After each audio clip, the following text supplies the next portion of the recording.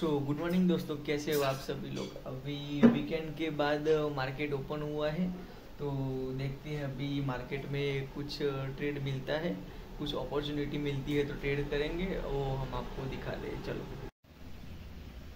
सो so, दोस्तों आप देख सकते हो यहाँ पर हमने आ, कोटक महिंद्रा बैंक में एक, यहाँ पर इंट्राडे में ट्रेड लिया था, आप देख सकते हो।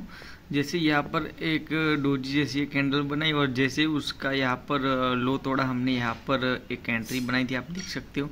काफ़ी अच्छी कैंडल बनी और यहाँ पर हमने प्रॉफिट बुक कर लिया था तो थोड़ा सा स्कैल्पिंग जैसा, आप देख सकते हो यहाँ पर।